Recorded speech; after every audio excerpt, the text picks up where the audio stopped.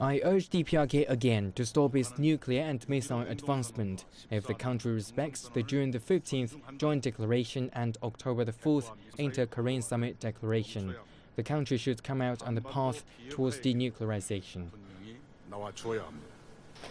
The Prime Minister also spoke about international community's anger over the death of Otto Warmbier, an American detainee who died days after his release.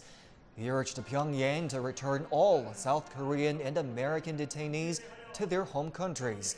Around 5,000 people took part in the event, including war veterans, government officials, and U.S. Forces Korea officials. The Korean War ended with an armistice, not a peace treaty, in 1953. The two sides are technically still at war.